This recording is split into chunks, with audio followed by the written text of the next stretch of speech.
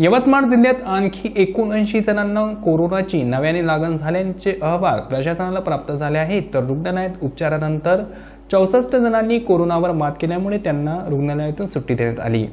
सध्या यवतमाळ जिल्ह्यात ते चारशे चौवेचाळीस ॲक्टिव्ह पॉझिटिव्ह रुग्ण आहेत. तसेच आतापर्यंत चारशे पंचवीस जणांचा मृत्यू झाल्याची माहिती जिल्हा परिषदेने दिली आहे.